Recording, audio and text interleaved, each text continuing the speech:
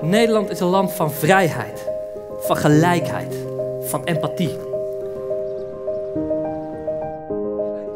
En hoe sommige politici de angst ook proberen te vergroten of verdeeldheid proberen te verdiepen.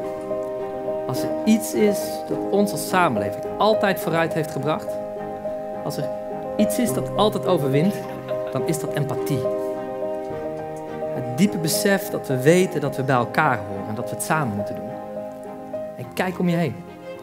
Kijk om je heen, er is meer dat ons bindt dan dat ons verdeelt. We reiken elkaar de hand. We komen in beweging.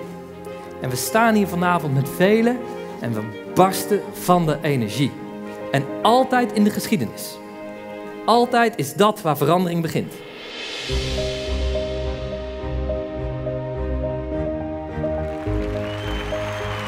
Het begint bij Laura, bij meester Bart, bij Jiggy J, bij Zoe en bij Romano.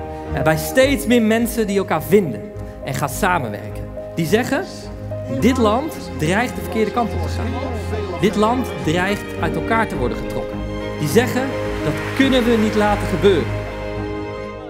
Die zeggen, wij gaan Nederland veranderen.